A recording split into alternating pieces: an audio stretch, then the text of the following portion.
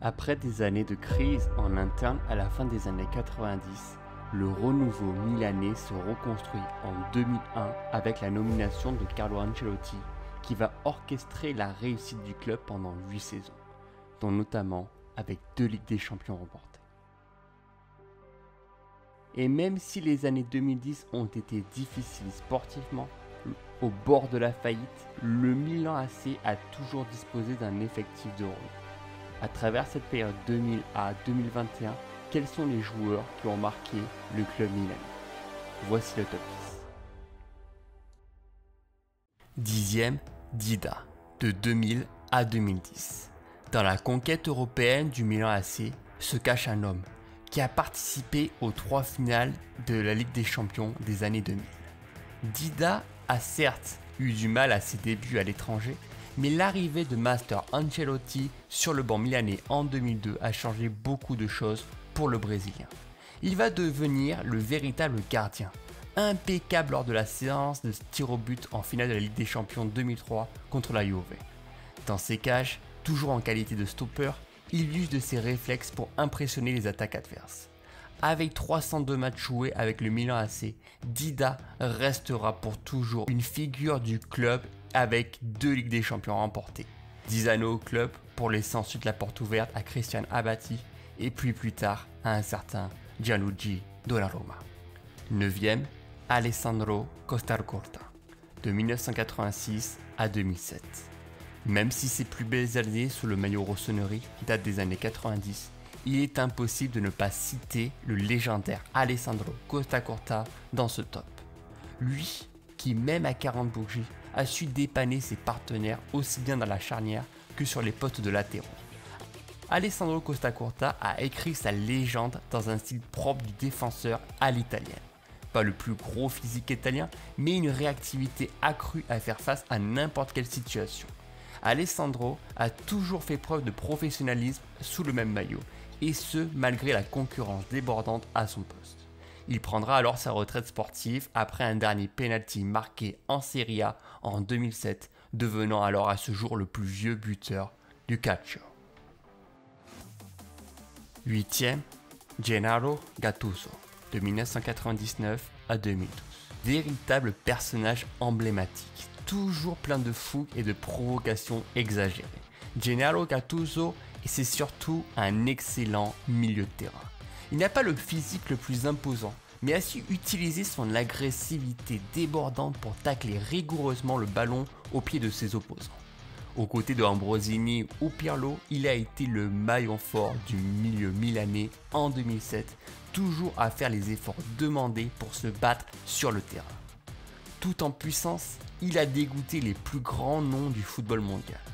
Son mental de fer est inégalable et lui a permis d'être actif sur plus de 450 matchs au Milan AC avec deux Ligues des Champions et deux Scudetto remportés avant de partir du club en 2012. 7ème, Clarence Sidorf, de 2002 à 2012. Un des rares joueurs à avoir endossé la tunique interiste avant d'avoir pris celle du Milan AC. Et pourtant, c'est bien chez les Rossoneri que Clarence Sidorf va écrire son histoire. Surnommé El Professore, il va éblouir le milieu de terrain de Ancelotti par son physique, son endurance hors norme et sa faculté à conserver le ballon sous la pression. Sidor, c'est aussi des grosses frappes dans la lucarne lorsqu'on lui laissait beaucoup trop d'espace. Joueur très complet, aussi bien défensivement que offensivement, il a servi le club milanais de la meilleure des façons avec 432 matchs et 62 buts marqués ce joueur à avoir remporté la Ligue des Champions avec trois clubs différents. Il a pris sa retraite sportive en 2014. Sixième, Kaka, de 2003 à 2009. Une sixième place délicate pour le Brésilien, mais la suite du top 5 est du très haut standard. Kaka a débarqué à seulement 21 ans et a réussi à faire son trou dans un effectif déjà bien garni du Milan AC. Sur le terrain, l'élégance du Brésilien est inégalable. Habile, rapide, créateur, contrôle ou encore dribble, tout y passe. Son histoire va surtout s'écrire lors d'une demi-finale de Ligue des Champions en 2007 contre Manchester United, où il marquera par deux fois en laissant sur le carreau des défenseurs mancuniens de l'époque. Son estime technique lui permettra de soulever la Ligue des Champions la même année et plus tard son seul et unique ballon d'or de son histoire avant de connaître des difficultés sportives après son transfert au Real Madrid en 2009. Cinquième, Andrea Pirlo, de 2001 à 2011. Un autre joueur à être passé de l'Inter au Milan AC, même si c'est bien chez les Rouges et Noirs que la carrière d'Andrea Pirlo a décollé. Arrivant en 2001, il va s'installer confortablement au milieu de terrain. Aux côtés de l'énergique Gattuso, Andrea Pirlo reste un joueur très calme sur le terrain, agissant avec classe pour distribuer les ballons proprement vers ses partenaires de jeu. Tout était réalisé à la perfection, aussi bien son positionnement millimétré, sa clairvoyance ou bien sa capacité à anticiper les actions avant les autres. Et guère aussi à son coup de patte sur coup franc qui a pu débloquer un grand nombre de situations.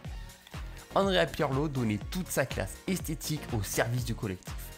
Même s'il a terminé sa carrière à la Juve, son histoire avec le Milan AC se résume en 401 matchs et 8 trophées remportés.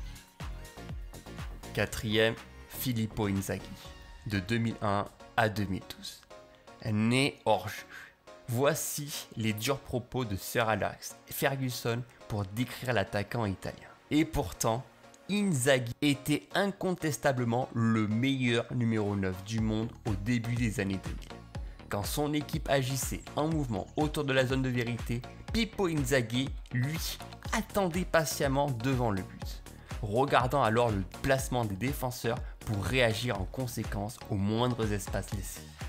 Il va suivre chaque mouvement avec attention et se jeter sur le ballon à chaque opportunité. Super Pippo adore marquer. C'est sa marque de fabrique. Il a toujours exulté après chaque but. D'ailleurs, ses buts n'ont jamais été magnifiques, mais Inzaghi a toujours été l'homme providentiel qui terminait le travail et a toujours réalisé à la perfection, dont notamment un doublé en finale de la Ligue des Champions 2007 contre Liverpool, qui servira pour lui de revanche après celle perdue de 2005. Troisième, Alessandro Nesta, de 2002 à 2012. Après 10 années de bons services à la Lazio, Alessandro Nesta débarque contre son gré en 2002 au Milan AC.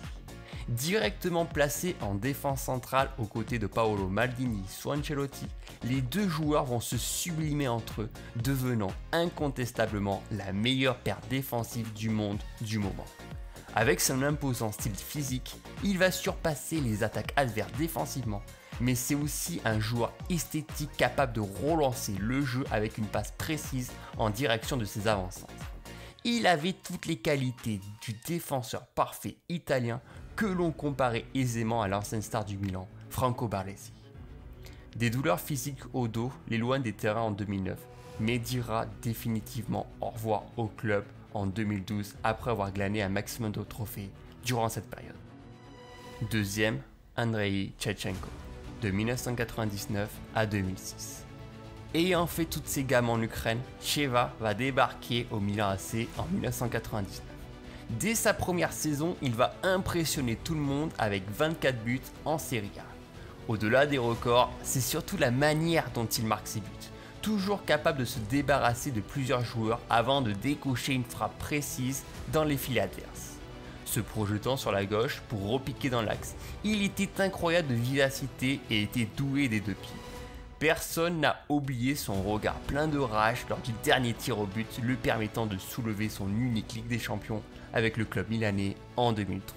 Ceci va même lui permettre de prendre le ballon d'or en 2004. Souhaitant changer d'air, il ne connaîtra malheureusement pas la même réussite à Chelsea entre 2006 et 2009. Premier, Paolo Maldini, de 1985 à 2009. Peut-on vraiment contester la place de numéro 1 de Paolo Maldini? L'homme d'un seul club dans sa carrière et qui aura poussé au plus haut niveau professionnel jusqu'à ses 40 ans.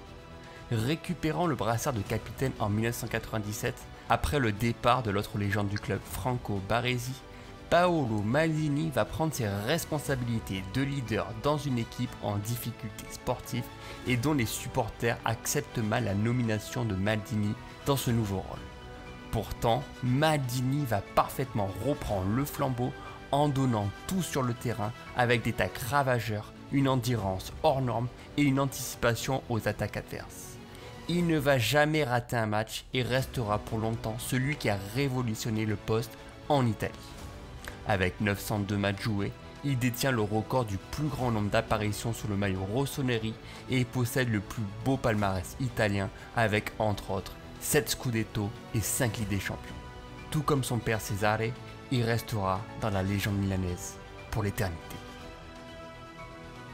Dans ce top, on aurait pu rajouter Massimo Ambrosini, successeur capitaine de Maldini en 2009, Rui Costa, le meneur de jeu portugais, Cafu, l'extravagant latéral droit brésilien connaissant les plus beaux succès milanais, Zlatan Ibrahimovic, toujours en place au club, Kaka Karadze, le rugueux défenseur géorgien, les gardiens Christian Abbiati qui a pris le flambeau d'Idida ou encore Gianluigi Donnarumma destiné à être le futur espoir italien.